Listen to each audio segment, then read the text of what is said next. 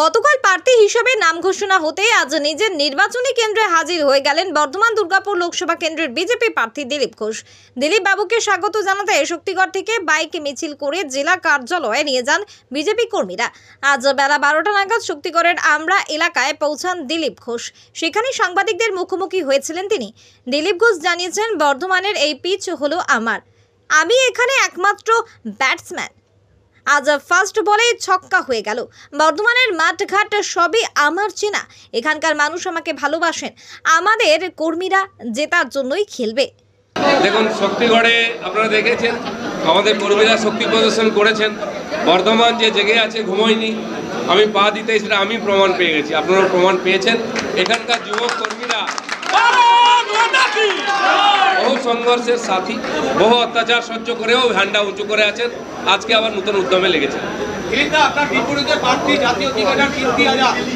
আমার বিপরীতে কে আছে আমি দেখি না আমি বলার দেখি না আমি বল দেখি কি করে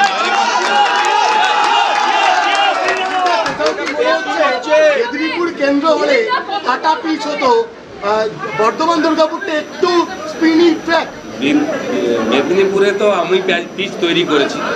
আমার হাতের টিম ছিল সেটা প্রশ্নই ছিল না। এখানে পিচ যারই হোক টিম যাই হোক ব্যাটসম্যান কিন্তু আমি আছি। আর আমার সঙ্গে যারা ফিল্ডার দেখছেন তো কিরম জোশ সেই জন্য লড়াই এখানে জেতার জন্য এখানে খেলছি। সবে তো শুরু হলো ফার্স্ট বলেই ছক্কা হয়ে গেল।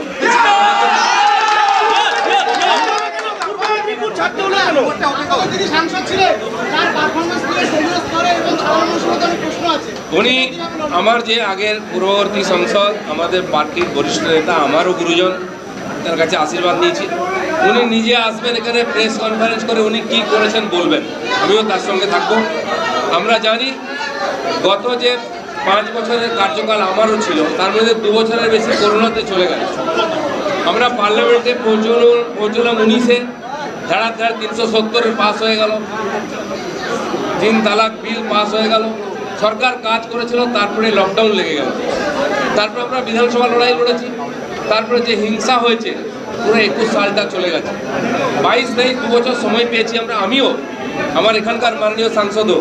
তারপরেও যা কাজ করেছি আমরা পুরো রিপোর্ট কার্ড আপনাদের সামনে দেবো। কুণাল ঘোষ হ্যাঁ। তিরিশ থেকে পঁয়ত্রিশ আসন পাবো এই রাজ্যে।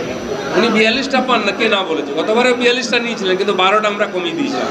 এটা বিজেপি এটা সিপিএম কংগ্রেস নয় যে ফাঁকা মাঠে জিতে যাবে। এটা মেদিনীপুর আপনার চেনা মাঠ ছিল পাঁচ বছর পরে সাংসদ ছিলেন। বর্ধমান আমার চেনা মাঠ দুর্গাপুর আমার চেনা মাঠ। জিজ্ঞেস করুন সবাইকে।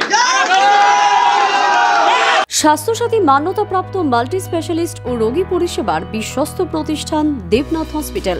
রয়েছে ICU NICU USG TLH dialysis বিভাগ ল্যাপারোস্কোপিক শল্য, অর্থোপেডিক, ডিজিটাল এক্স রে বন্ধাত্ম চিকিৎসা সহ উন্নত চিকিৎসা পরিষেবার আরও একাধিক বিভাগ রয়েছে। ঔষধের দোকানও আমাদের ঠিকানা বাসুদেবপুর মোড়, আরামবাগ, হুগলি। যোগাযোগ number eight three seven three zero seven four double nine eight এছাড়াও যোগাযোগ করুন eight three seven three zero seven four triple nine এই নাম্বারে।